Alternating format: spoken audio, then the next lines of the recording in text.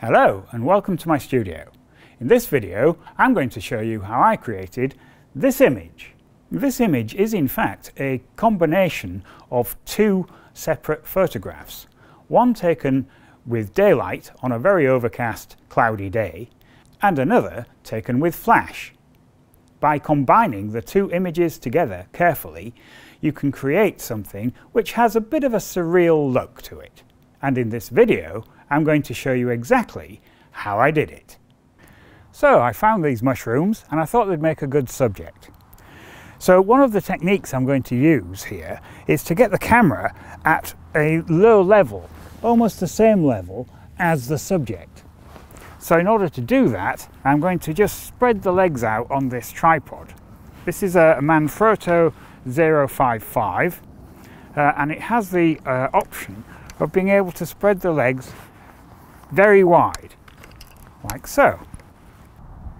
So once I've spread the legs out that wide, what I can do now is just position the tripod in an arbitrary place. We'll just see what that's like. And now it's time for the camera. So I'm using this full frame digital SLR with a 24 to 70 zoom lens on the front of it. Uh, so what I'll do is just pop this on the tripod and we'll have a go at framing up the shot. So I have a ball head on this tripod so I can just frame up the shot roughly. We'll zoom in all the way to the 70mm end on the lens. Just roughly focus that. Like that. reframe. Check the focus again. Yeah, somewhere around there, I think. Right, so now that's all composed, I can just turn the camera on. And I've got the camera set in manual mode, so manual everything, manual focus uh, and manual shutter and aperture, etc. So initially, I'm just going to set the shutter speed uh, to, what shall we go for, um, hundredth of a second and I'll just set the aperture at f8 and I'll just check that in the viewfinder and I'll just use the camera's meter just to meter it out uh, for the uh, conditions and we'll just take a, a test image. Okay, let's grab an image, check it on the back. Yeah, that doesn't look too bad at all. And you could leave it at that, but it'd be a pretty boring picture. So to give a bit more life to this, what I'm going to do is mix some flash in with the daylight.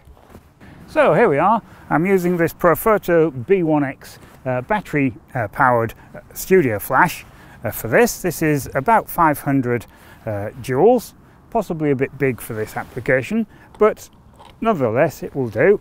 So we'll stick this on the top of this stand, which I've previously set up. There we go. I've just got a standard reflector on the front here. So I'll just bring that down a bit just to concentrate the beam. Something like that. And as you can see, it's more or less directly over the top of the subject. So we just turn that on. Now this is initially set to a arbitrary energy level about halfway through the range so the only other thing that we'll need is a flash sync trigger. So I'll just pop this on the top of the camera. Like so. Okay, so before we get started on that, what I want to do is um, take the exposure down for the daylight uh, for about two or three stops, possibly a bit more than that. Uh, that way I will get a difference between the daylight exposure and the flash exposure. I'll show you what I mean. So we'd ascertained that to get a proper exposure uh, I needed to be at an aperture of 4.5 at 100 ISO and at 1 hundredth of a second. Now the flash sync speed for this camera is 1 250th of a second. So I could go all the way up to 1 250th of a second without having to resort to high speed sync. So that's the first thing I'm going to do. So I'll just change the shutter speed to 1 250th of a second. We'll just grab an image. Okay, and you can see from that that uh, it is a bit darker, but it's not that much darker really. So now I can alter the aperture and uh, we're at 4.5 uh, so initially I'll take it to um, f8 and see what that uh, looks like. So we'll just change the aperture to f8 and grab another image. Now that's getting there, that's considerably darker. So that's the sort of thing uh, that I want as a background image. So with those settings then, what I can do now is turn the flash sync trigger on so that it fires the flash. I'll just do that. And we'll give that a test. There we are, and you can see from that that it's uh, almost right. It probably needs um, maybe another stop of exposure on there. So I'll just select that head, just add a stop on that and we'll fire that again. Yes, and again, checking that on the back of the camera, that doesn't look too bad at all. So just to make sure and to give me a choice of densities when I come to do the post-production, what I'm going to do is go up and down a stop with the flash and up and down a stop without it. So initially then, uh, I'll just add another stop to that and fire that again. Now I'll take two stops off and take that again. And now I'll just turn that head off. We'll just take one without the flash. So, and this time I can take the uh, shutter speed up uh, by one stop. So that would be one five hundredth of a second and down by one stop, which is 125. Okay, and as for capturing the image, that's it. So, what I'll do now is load up which ones uh, I think I'll need and we'll go into Photoshop to do the post-production. Okay, so here we are in Photoshop and I've loaded up two files from all of those that we took earlier outside. This is the one that I've chosen lit by daylight and this is the one lit by flash. Okay, so to combine these two, I'm going to get Photoshop to make me a stack of those two images. So go to File, come down to Scripts, load files into Stack, add Open Files, and yes, I'll ask it to attempt to automatically align the sources, just saves a bit of time uh, and just click on OK. There we are. And what that has done is made a stack of two layers over here with a new file at the top. So we're not actually editing those two that I imported. We've got a new one which is made up of these layers. Right. So to combine these two, what I'm going to do is uh, just select the top one here and I'm going to add a layer mask to this. So if I just add the mask like this and then I'm just going to invert that because it'll make it a little simpler to uh, follow what's going on. Right, so I have a black mask which is hiding all of this layer. So what I want to do is reveal the bits that I want to um, make use of. So uh, what I'm going to do is just make sure that white is selected as the foreground colour. Uh, go up to uh, brush tool up here. Now I'm going to turn the opacity down from 100% uh, to something like um, 20, 25. Uh, just gives you a bit more control over what's going on. Right, so now if I just right click, I can select the brush size So I'll pick a brush which is relatively large, maybe a bit bigger than that. Okay, uh, and just make sure it's very soft.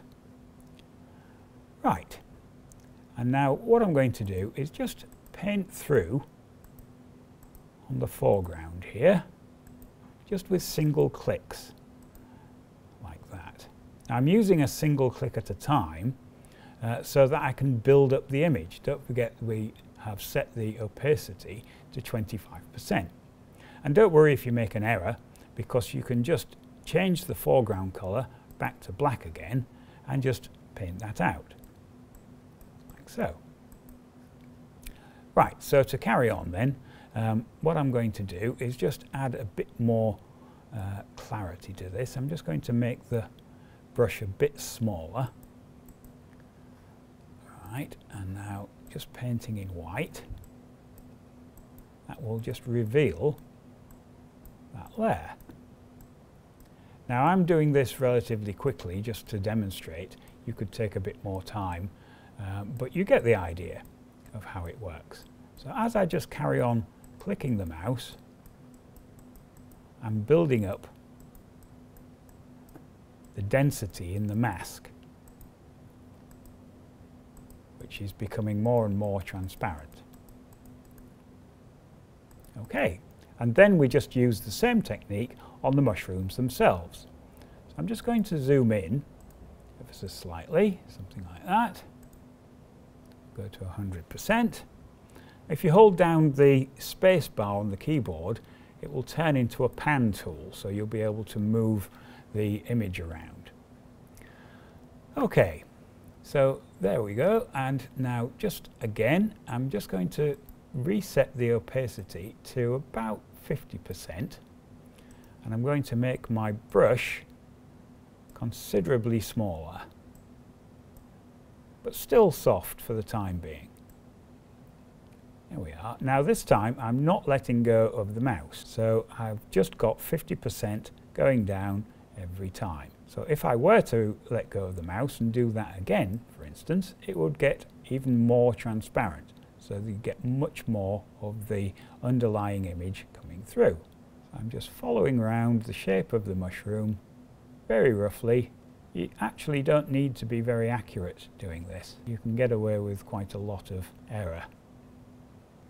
Okay, so having done that one, I'll just move on to the next one. And we do exactly the same again.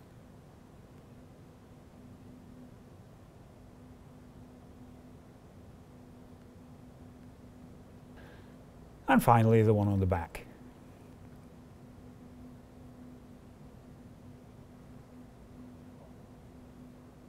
There we go. So now I can just select the magnifying glass there and I'll just zoom out, so. And we'll pick a crop. Obviously mine is destined for video, so I'm picking 16 by 9. I'm going to crop it in quite tightly. Something like that. There. And there we have it. So by combining the two exposures, you've ended up with a bit of a different look to some mushrooms in a field. This technique is of course open to interpretation in terms of the way you make the mask. There are lots of different ways to automate that process these days, but overall I think doing it manually gives you a feel for the image. Uh, and I think this has turned out very well.